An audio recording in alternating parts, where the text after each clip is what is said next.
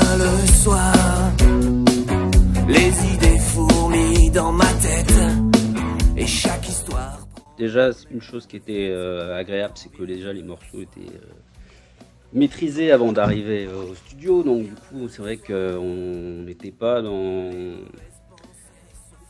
dans le pas l'apprentissage parce que les morceaux on n'arrive jamais au studio dans l'apprentissage mais ils étaient déjà carrés on les avait dans les doigts donc on a été accueillis par Jean Fou super sympa vraiment qui nous met à l'aise et et on avait la pression parce que l'enregistrement euh, de l'album a commencé forcément par la section rythmique. Donc euh, on a fait tout un week-end avec Aude où on a décidé d'enregistrer la batterie et la basse. Ça a facilité euh, l'enregistrement et un peu l'immédiateté aussi parce que si on prend 40 prises pour faire un morceau, à force il n'y a plus de spontanéité.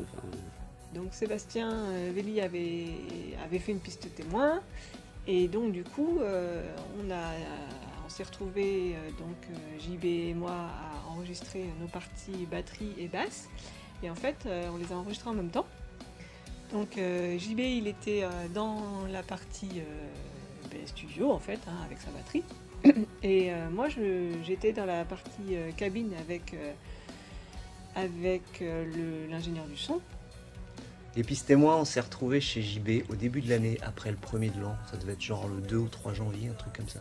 2020. Le 2 janvier 2020. Euh, et on s'est fait avec Seb euh, et JB aux manettes. Et avec euh, Jean-Philippe qui surveillait tout ça du coin de l'œil. on s'est fait les pistes témoins, une bonne bouffe. Donc on était séparés par une vitre, mais on pouvait communiquer. Et euh, du coup, on a enregistré euh, en même temps euh, les parties et bah, c'était plutôt rassurant puisque bah, on n'est pas tout seul, on se retrouve pas tout seul à enregistrer sa partie. On savait pas quel morceau, dans quel ordre on enregistrerait.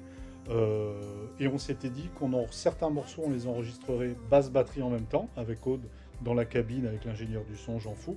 Puis moi dans le cube, sinon je pense qu'elle aurait perdu ses deux oreilles. On était dans un, dans un milieu quand même où là entre euh, le matériel et puis euh, et Jean-Philippe euh, professionnel. Donc c'était. Alors il y a eu une chanson qu'on a modifiée après parce qu'en résidence en fait on, on s'est rendu compte que Regarde autour de toi devait être ralenti un petit peu. Voilà, donc on l'a baissé de 3 points si j'ai bonne mémoire. Regarde autour de toi, super chanson. on l'a vraiment joué bien au clic séparément parce que plus c'est lent, plus c'est étendu et plus il faut bien poser en fait son coup de grosse caisse, son coup de tambourin. Quand on a enregistré Qu'est-ce qui t'empêche donc euh, on a commencé à jouer voilà, avec euh, JB à la batterie et moi à la basse, euh, donc on enregistrait en même temps.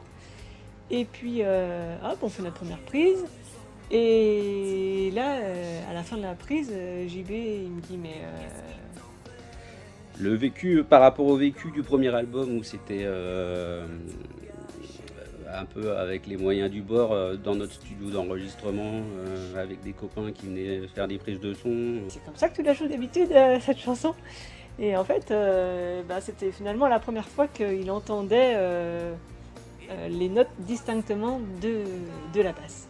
Il y en a une, si, où j'ai passé quelques heures à recaler la guitare, à refaire des édits et compagnie, suite à une défaillance technique. Et euh, celle où je me suis vraiment éclaté, c'est sur le passage de, de Leslie Con. Là, c'est. Oh, mais là, on peut exagérer et envoyer. D'ailleurs, il faudra, doubler cette séquence en live. Non, je rigole. Alors, nous, on est arrivé début mars avec Seb, euh, l'autre Seb. Euh, et en fait, on a alterné nos prises, histoire que ce soit que ce soit un peu moins fatigant, ça permettait à l'autre de se reposer un petit peu pendant ce temps-là, et on a alterné euh, c'est prise avec les miennes et ça s'est fait euh, assez rapidement, sans problème. Euh, Puis toi, je sais que tu vas partir après sur, la réécriture de notre album aussi. Donc voilà, oui. un album, on, peut le faire aussi bien en 15 jours qu'en un an. Et les voix, je me suis retrouvé avec Jean-Philippe en soirée, plutôt, on va dire, à partir de 18-19 h où là, j'étais tout seul dans la salle, enfin dans le studio, et on a fait plusieurs prises sur chaque chanson pour être sûr. Et euh, en général, c'est les dernières qu'on a gardées. Après, maintenant, euh, je pense qu'avec euh, le travail que vous avez fait, plus l'expérience de l'album, quand vous allez commencer à répéter, quand on reviendra dans le monde d'avant, c'est-à-dire qu'on pourra refaire des concerts, je pense que là, euh, ça, ça va être bien. Bah, à partir du moment où c'est toi qui les écris, tu sais ce que tu as envie de raconter. Donc ça permet plus de. Ça permet de t'intégrer plus facilement dans, dans la chanson. Puis ce qui était bien, c'est qu'on avait déjà tous les instruments derrière. Donc du coup, euh, l'énergie était déjà là en fait. Et euh, ça, ça aide beaucoup pour faire les voix derrière.